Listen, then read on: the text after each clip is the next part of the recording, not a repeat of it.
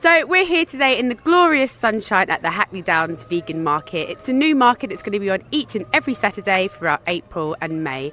They'll have selected vendors throughout those days and they'll have sweet treats to burgers to Vietnamese food. So let's go and see what they've got in store for us today.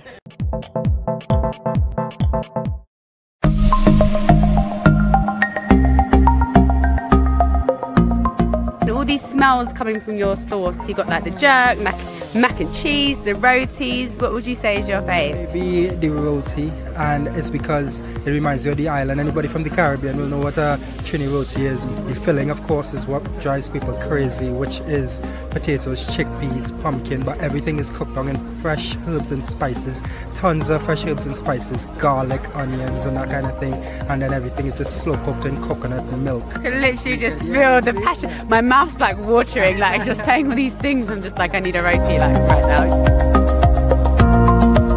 You've got the flavours there, so I think you will be very, very successful. Um, what's kind of in your products? What's the basis? How do you get those flavours?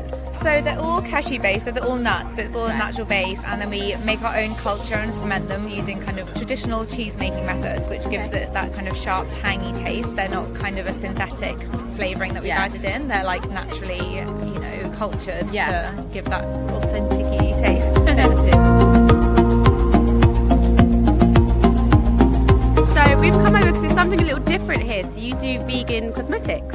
Yeah, absolutely. So I was really frustrated trying to find uh, vegan, cruelty-free makeup. A lot of the time it was kind of a bit boring, can I say? so I found some awesome brands to work with which are completely vegan, cruelty-free, and kind of put it together all in one place.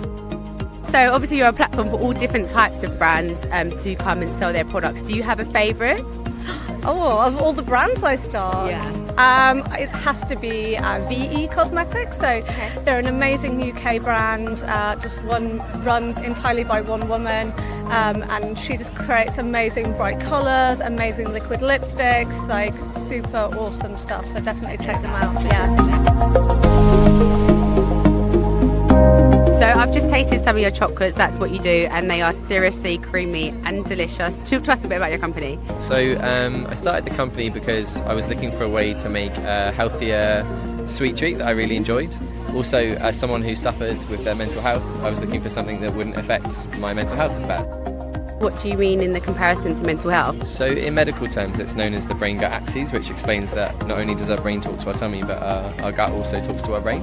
And so, if we put things that our gut doesn't really enjoy, it, it can send signals up to our brain to make us feel low, unhappy, anxious. And that's what I found, and I actually healed myself through food.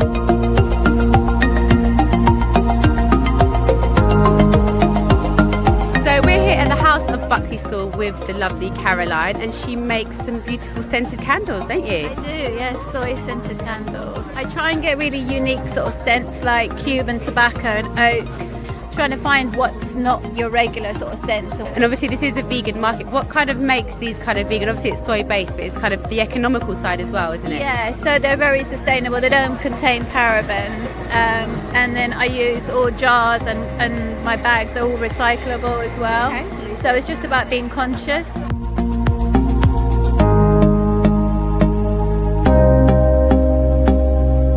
We've had it. We've had a really interesting afternoon here at the Hackney Downs Vegan Market. We've spoken to all different types of vendors, from burgers to cheeses to chocolates, even scented candles. They've got everything here. And remember, they're here each and every Saturday throughout April and May. So come down and check it out.